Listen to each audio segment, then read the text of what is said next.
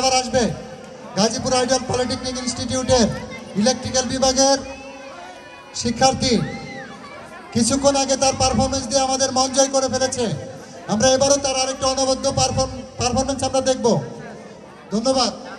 এই, তোমার ইয়ে কি রেডি আছে?